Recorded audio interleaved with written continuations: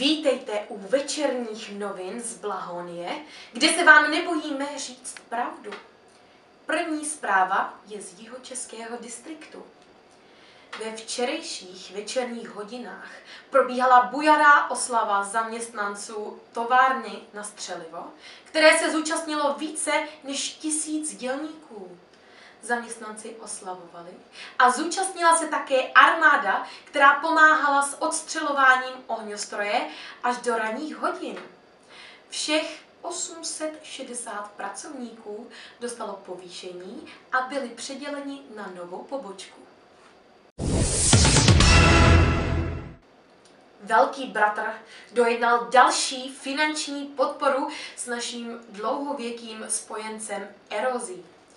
Ta nám v následujících dnech poskytne finanční podporu bez jakýchkoliv úroků, pokud vše bude splaceno včas.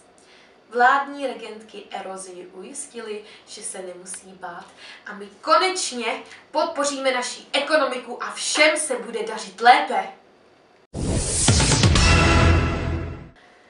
Plzeňském distriktu byla vstyčena socha národnímu hrdinovi Jakubovi Hydrantovi osvoboditeli, který se nebál postavit nepřátelům, nasadit svůj holý život a pomoci k osvobození distriktu od nepřátelských apátijských okupantů.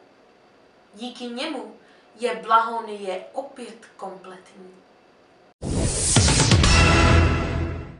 V Jihomoravském distriktu dnes došlo k požáru v archivu Ideopolicie. Podle vyjádření vrchní komisařky Kateřiny Matlafouskové se jednalo o nešťastnou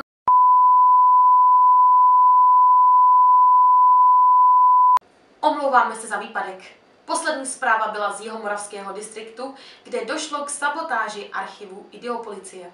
Vrchní komisařka Magdalena Hedolistka potvrdila, že pachatel byl dopaden díky kamerovému záznamu. Jednalo se o nepřátelského agenta. Toto byl úplný souhrn zpráv z Blahonie. Velký bratr s vámi.